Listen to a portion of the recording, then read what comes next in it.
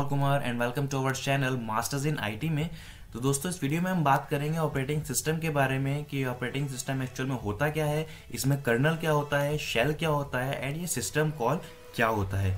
तो फ्रेंड्स अगर आप जानना चाहते हैं इन सब चीज़ के बारे में तो वीडियो को एंड तक देखिए मैं पूरी कोशिश करूँगा कि मैं आपको इजीली समझा पाऊँ। तो वीडियो अगर अच्छी लगे तो लाइक कीजिए शेयर कीजिए अपने दोस्तों के साथ और सब्सक्राइब कीजिए हमारे चैनल को। तो चलिए, देरी ना करते हुए स्टार्ट करते हैं हमारे इस ट्यूटोरियल का।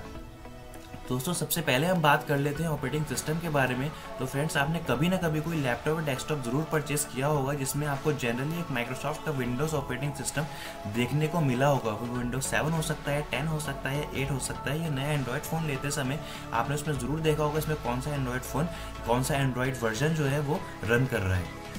तो दोस्तों ऑपरेटिंग सिस्टम जो होता है, वो बेसिकली एक ऐसा सिस्टम सॉफ्टवेयर होता है जो कि किसी भी एंड यूज़र को एंड यूज़र मतलब आप या मैं, जो कि कंप्यूटर को यूज़ करें जो कि किसी भी एंड यूज़र को एक यूज़र इंटरफेस प्रोवाइड कराने का काम करता है, जिससे यूज़र को कोई भी प्रोग्राम को ईजिली चला पाए।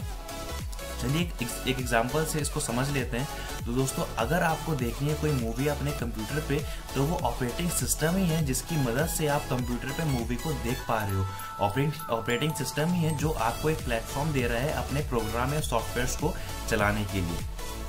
तो उम्मीद है दोस्तों, आप समझ गए होंगे ऑपरेटिंग सिस्टम के बारे में। तो अब बात कर लेते हैं कर्नल और शेल के बारे में।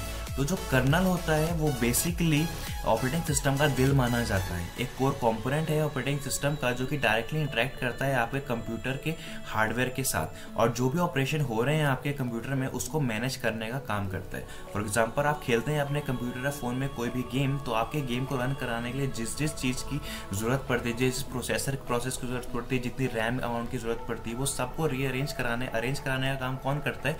कर्नल करता है। तो दोस्तों, आप समझ गए होंगे कर्नल के रोल को। तो फ्रेंड्स, इसमें एक और बात यह आ जाती है कि आपकी कोई भी कमांड कर्नल तक डायरेक्ट नहीं पहुँच सकती।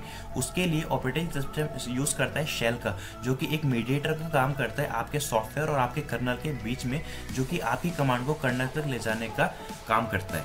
होप्सो कि आप समझ गए होंगे समझ गए होंगे। लास्ट टॉपिक आता है दोस्तों, सिस्टम कॉल का। तो बेसिकली एक तरीका होता है जो कर्नल को एक्सेस कराने का।